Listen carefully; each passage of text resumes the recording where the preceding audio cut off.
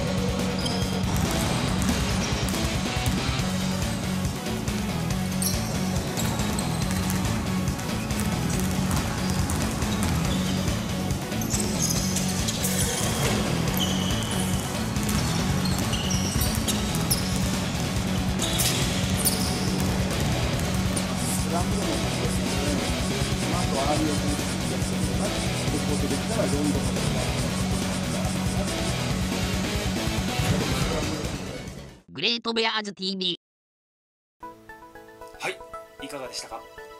グレートベアーズ22人全員の動画をご覧いただきました。グレートベアーズにはですねたくさんいろんなタイプの選手がいますのできっと試合観戦も楽しくなるんじゃないかなと思ってます。